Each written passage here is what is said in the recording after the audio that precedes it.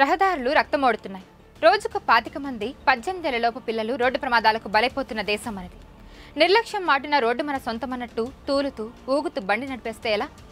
భారత్లో దాదాపు ప్రతి మూడున్నర నిమిషాలకు ఒక రోడ్డు ప్రమాదంలో మరణిస్తున్నారని మీకు తెలుసా? ఒకవైపు గుంతలు ఎగుళ్ళు దిగుళ్ళతో నరకానికి రూట్ మ్యాప్గా మారిన రహదారులు.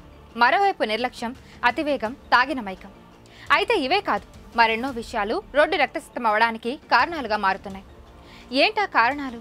అయిన వారికి కన్నీళ్ళు మిగుల్చుతున్నవి కేవలం నిర్లక్ష్యపు డ్రైవింగేనా? భద్రతా లక్షణాలను చేరుకోవడంలో భారత్ వెనకబడి ఉందా? ఈ విషయాలను ఇవాళ తెలుసుకుందాం.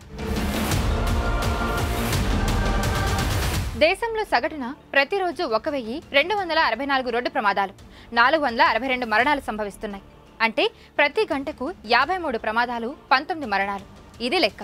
రెండు వేల ఇరవై రెండులో జరిగిన నాలుగు లక్షల అరవై ఒక్క వేల మూడు వందల పన్నెండు రోడ్డు ప్రమాదాల్లో ఒక లక్ష అరవై ఎనిమిది వేల నాలుగు వందల తొంభై ఒకటి మంది మరణించారు. ప్రతి ఏడాది రోడ్డు ప్రమాదాల సంఖ్య అటు మరణాల సంఖ్య పెరుగుతూ పోతుంది. రోడ్డు ప్రమాద మరణాలతో సగానికి పైగా జాతీయ రాష్ట్ర రహదారులపైన జరుగుతున్నాయి. రోడ్డు ప్రమాదాల వల్ల భారత ఆర్థిక వ్యవస్థకు ఏడాదికి జీడీపీలో ఐదు నుంచి ఏడు శాతం నష్టం వాటిల్లుతుందని ప్రపంచ బ్యాంక్ అంచనా వేసింది.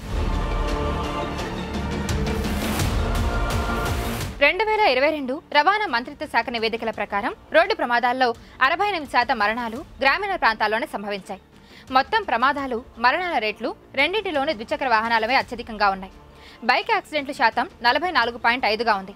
అటు పంతొమ్మిది పాయింట్ ఐదు శాతం మంది రోడ్డుపై నడిచే వ్యక్తులే ప్రమాదాలకు గురవుతున్నారు. అంటే రోడ్డుపై నడుచుకుంటూ వెళ్ళడం కూడా ఇండియాలో తప్పేనా? అటు రోడ్డు ప్రమాదాల్లో మరణించిన వారిలో ఎనభై మూడు పాయింట్ నాలుగు శాతం మంది పద్దెనిమిది నుండి అరవై ఏళ్ళలోపు ఉన్నవారే. అంటే ఇదంతా వర్కింగ్ గ్రూప్. ఈ ఏజ్ కేటగిరీ పైన భారత ఆర్థిక వ్యవస్థ ఆధారపడి ఉంది.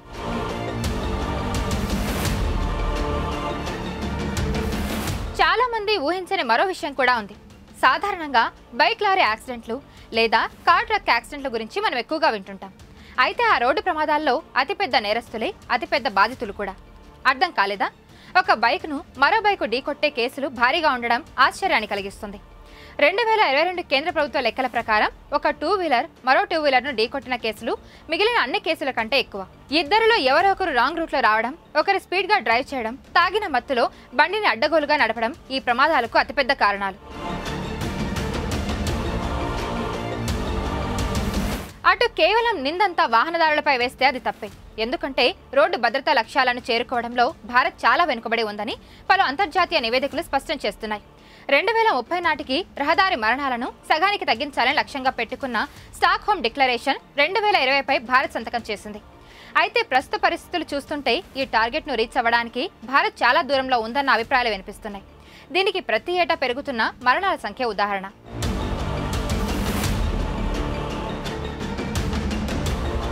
కొన్ని దేశాల్లో వాహనాల ఉత్పత్తి దశలోనే స్పీడ్ కంట్రోల్కు అవసరమైన చర్యలు చేపట్టి అద్భుత ఫలితాలు సాధిస్తున్నాయి. మన దేశంలో మాత్రం పరిస్థితి భిన్నంగా ఉందన్న వాదన వినిపిస్తుంది. మితిమీరిన వేగంతో వెళ్ళే వాహనాలను సాధారణ రోడ్డుపై నిజానికి అనుమతించకూడదు. అయితే ఏడెనిమిది సెకండ్లలోనే వంద కిలోమీటర్లకు పైగా వెళ్ళేందుకు బైకులు కార్లు అన్ని రోడ్డుపైనే దూసుకెళ్తున్నాయి. రహదారుల అభివృద్ధిపైన సరైన భద్రతా ప్రమాణాలను నెలకొల్పడంపైన కేంద్ర రాష్ట్ర ప్రభుత్వాలకు శ్రద్ధ లేకపోవడంతోనే సామాన్యులు మృత్యువాత పడుతున్నారన్న విమర్శలు కూడా ఉన్నాయి. ఇటు తెలుగు రాష్ట్రాల్లోనూ నిత్యం అనేక మంది రోడ్డు ప్రమాదాలకు బలైపోతున్నారు. ఇటీవలి తెలంగాణలో జరిగిన వేర్వేరు ప్రమాదాల్లో పది మంది యువకులు మరణించారు. ఇందులో నలుగురు ఇంటర్ విద్యార్థులు ఉన్నారు. ఒక బైక్పై నలుగురు వెళ్ళారు. ఇది ముమ్మాటికి ట్రాఫిక్ నిబంధనల ఉల్లంఘనే. హెల్మెట్ ధరించకపోవడం సైలెన్సర్లు తీసేసి భారీ శబ్దంతో హారన్లు మోగించుకుంటూ ఆకతాయిల్లో వాహనాలు నడపడం చేసే యువత సంఖ్య కాస్త ఎక్కువే. ఈ రకమైన బండి మోజు ప్రాణాలను తోడేస్తుంది. బంగారం లాంటి భవిష్యత్తును అర్ధాంతరంగా ముగిసేలా చేస్తుంది. అందుకే పిల్లలు బైక్పై బయటకు వెళ్ళారంటే వారు తిరిగి వచ్చే వరకు ఇంటిల్లిపాది గుండె గుబేలమంటుంది. ఒక మరణంతో వచ్చే దుఃఖం భరించలేనిది. మరణంతో ఖాళీ అయిన లోటునెప్పుడు పూడ్చలేము. ఈ విషయాన్ని ప్రతి ఒక్కరూ గుర్తుపెట్టుకోవాలి.